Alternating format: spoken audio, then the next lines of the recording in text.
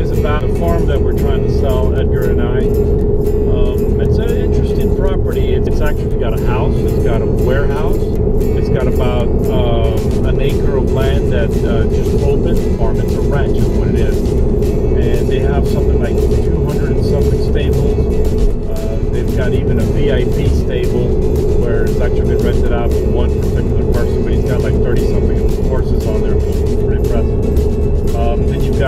you got uh, two houses there that are where the employees, people that you know handle the, the take care of the horses and stuff like that, he lives there as well.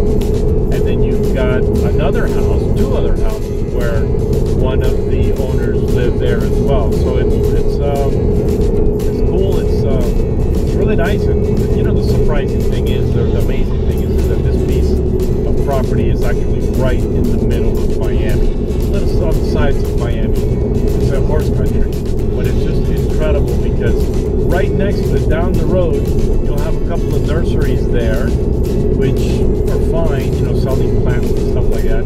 But then right next to it, you'll have an eight million dollar house, uh, or there's another one that we just saw.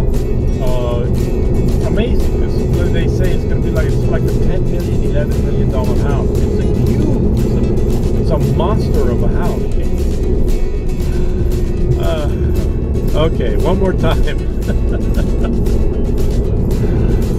if you like this video, if you like this video, please thumbs up.